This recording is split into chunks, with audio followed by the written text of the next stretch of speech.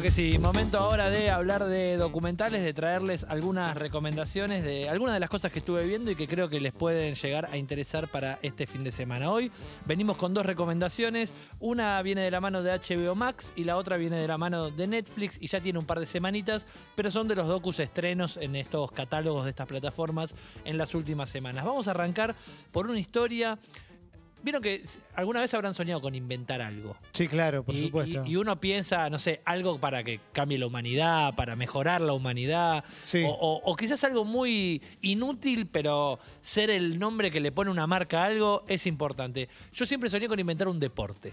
Sí. A mí me gustaría mucho, en mi, en mi fantasía es que haya un deporte, que lo juegue un montón de gente o que lo practique un montón de gente porque un chabón un día se le ocurrió inventarlo. Claro. Bueno, les voy a contar la historia de un documental, que es la historia de un chabón que se llama Jack Burton o Jack Barton, y es el chabón que inventó el snowboard. Muy bueno. Y quizás hayan visto alguna vez en ropa de invierno una marca con este apellido, Burton. Bueno, es este chabón el, el que está atrás de esta marca y es el que está atrás de la creación de este deporte que es el snowboard. ¿Es un deporte joven? Es un deporte que tiene ya unos cuantos años, tendrá 50 años, ponele, o, o 45 años. O sea que el surf es anterior. O sea, no, Claro. no- no es que inventó tanto tampoco. Bueno, mirá, ahí está bueno lo que decís porque eh, lo primero que tenemos que traer a esta historia es que un día este pibe recibe de regalo, él ya le gustaba mucho esquiar y le gustaban mucho los deportes de invierno, los que había hasta ese momento, pero le regala en un momento un Snurf. Que es un Snurf? Una mezcla de snow, de nieve, y de tabla de surf, que se utilizaba y que fue como una especie de prototipo de tabla para surfear arriba de la nieve. Y es con esto que él empieza a hacer algunas cosas, pero en un momento dice, yo la quiero como perfeccionar.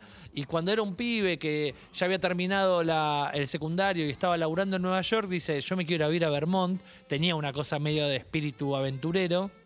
Y me dice, me gusta tanto la nieve que quiero perfeccionar esto y quiero tratar de mejorar esta tabla. Entonces, por un lado agarra las tablas de surf, por el otro lado agarra la tecnología de los esquíes, porque entiende que son la clave para entender la nieve, pero también en el medio trae eh, los materiales de la patineta, del skate. Sí. Entonces, con la mezcla de estas tres cosas, empieza a diseñar lo que es la verdadera primera tabla de snowboard. Y lo que hace el tipo es entender desde el día uno que para él ahí había un deporte. Muy bueno, muy bueno. Él, él estaba seguro que en esa tabla y que en esa actividad había un deporte. O sea, él no, no lo ve solo como algo recreativo, sino también como, algo competitivo. ¿Y como negocio tampoco? Como negocio sí, obviamente, pero siempre en la intención, o por lo menos esto es lo que dice él en un principio, cuando de repente fabricó, eh, en un momento cuenta que dice, en un momento fui con 38 tablas a venderlas y volví con 40. Como diciendo, uno me devolvió dos que no, que no quería. Dice, pero en un momento cuando llegué a vender 300 dije, acá pasa algo. Y cuando llegaron unos japoneses y el mercado de Oriente empezó a decirle, che, nosotros queremos comprar también, obviamente el negocio creció. Pero siempre le interesó el deporte.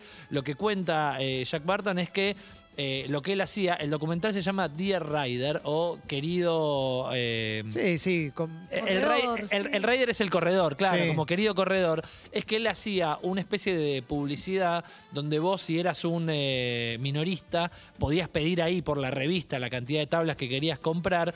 Y lo que venía ese afiche, esa publicidad, era con una carta de Jack Barton que se actualizaba mes a mes y que te iba contando todo lo que él iba innovando en la tabla y en el deporte. Y todas esas cartas arrancaban diciendo querido corredor. ¿Y tardó mucho en instalarlo? Tardó unos años y todo eso está muy bien contado en el documental, porque claro, el tipo tiene que ir a las pistas de esquí, a las pistas de, de- de nieve e ir diciendo, che, estoy con esto, con esta tabla, con esta correíta, agarrándolo, te muestro cómo lo hago. Y así fue como, como fue creciendo muchísimo. Y obviamente para hoy, dice, yo cuando creía que esto podía ser un deporte, lo creía realmente, pero no creía que iba a haber un tipo que después iba a ser tapa de la revista Rolling Stone dos veces. ¿Entendés? No creí que se podía hacer tan pero tan grande o deporte olímpico, porque hoy el snowboard Sí. es uno de los deportes en los Juegos Olímpicos de Invierno. Para, ¿él anda bien? Él anda bien, no quiero spoilear el destino de Jack Barton, pero si van a Wikipedia van a encontrar eh, Uy, no, su no.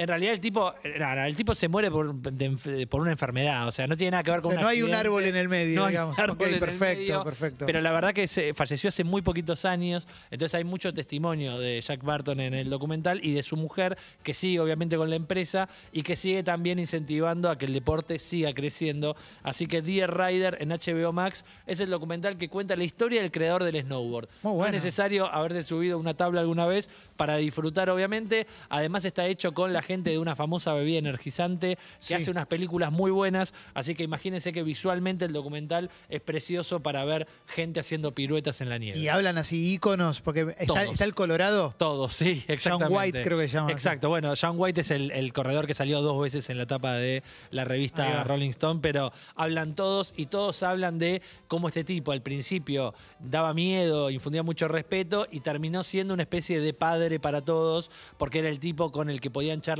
y el que los ayudaba todo el tiempo a, a ir a más. Así Bien. que Dear Rider, la historia de Jack Barton, así se llama, lo encuentran en HBO Max. Me, me gusta, me tienta, me tienta. Eh, Está bueno, es distinto, me parece. Es, de hecho, es parte de la unidad de, de documentales de HBO que se conoce como HBO Sports.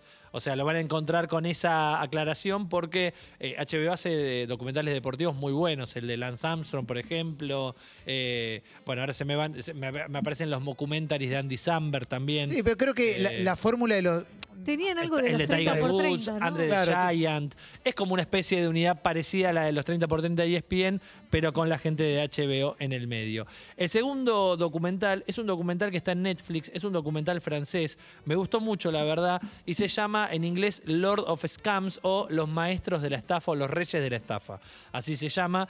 Y cuenta varias historias, pero voy a tratar de contarla así muy brevemente para que lo vayan a buscar y lo disfruten mucho. Si les gusta esta especie de subgénero del documental, que son las estafas, que hay muchísimo, muchísimo dentro del género.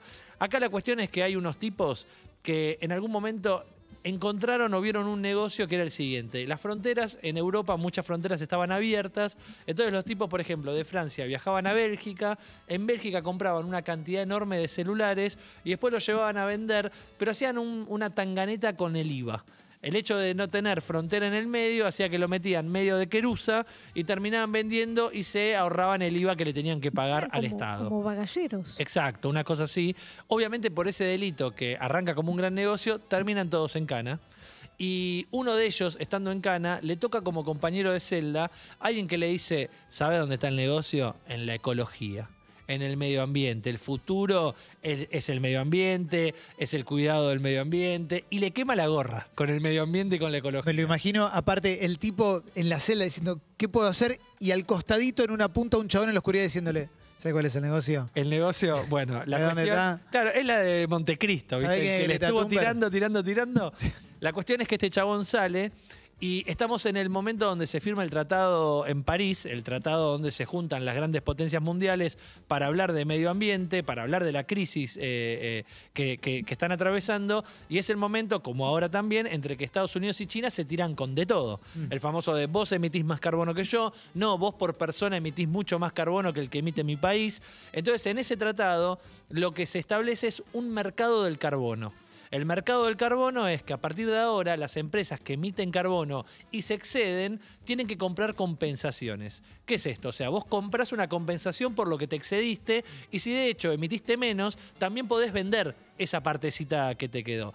Entra una especie de negocio financiero en un mercado nuevo, que es el mercado del carbono, donde participan obviamente las empresas interesadas, pero también puede participar cualquiera que se quiera meter en el mercado como broker.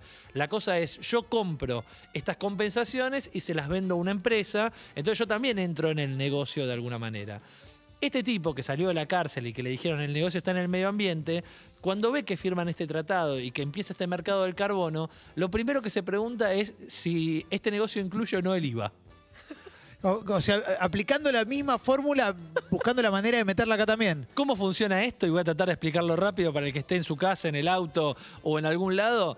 Vos creás dos empresas. Una la creás en Francia, la otra la creás en, la- en algún país de la Unión Europea, por ejemplo en Alemania. Entonces dice, la de Alemania compra por un millón de, de euros las compensaciones estas de, Sí. de carbono y esa se la compras a una tercera empresa, ¿no? Una empresa que se dedica a eso.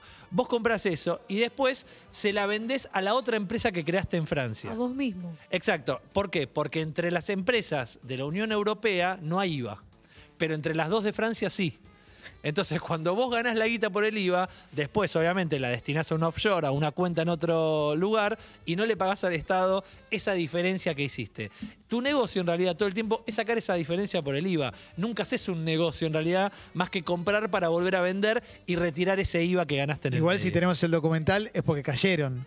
Bueno, están todos hablando en este documental en Claro. una historia increíble que lo único que hace es crecer y crecer como una bola de nieve del primer documental, porque imagínate cuando ganás mucha guita, qué tan exagerado te pones cuando vas a Las Vegas, Ay, cuando no. reventás casinos, Claro. Ay, no. Como no puedes parar nunca. cuando la guita no para un segundo y cuando vos también necesitas mostrarte ante otros vendedores y compradores como un millonario dispuesto a perder mucho dinero también. Ricachón. Y, y preguntarte, Juan, cuando alguien, cuando ves una historia de alguien que dice, no, bueno, me fui a vivir al bosque y soy feliz, uno se plantea la posibilidad de hacerlo. Ves esto y decís, "Eh, no es tan difícil, ¿te pasa algo así? Bueno, lo- eso es lo primero que te pasa con el No documental. lastimó a decir, nadie. che, Claro. claro. pero además lo primero que decís es, no es nada difícil meterte en estos negocios. De hecho, hay uno que lo van a ver que es igual al Pipa Higuaín, a Pipa Higuaín padre, Sí. eh, que es el pro- gran protagonista de esta historia, que es un chanta tremendo, y que ves que el tipo dice, en el momento en el que peor estaba... Si conseguía un buen traje, un portafolio que adentro le ponía unos papelitos y una virome, hice negocios en Chipre, no sé qué, con nada, con la jeta y con mucha, pero Es muchísima una fe. cuestión de actitud. Exactamente. Así que si quieren conocer esta historia, que es increíble, se llama Los Reyes de la Estafa, lo encuentran en Netflix. Y si quieren algo más deportivo, el- la historia del creador del snowboard se llama eh, Dear Rider, la historia de Jack Barton. Dos recomendaciones para ver de documentales esta semana.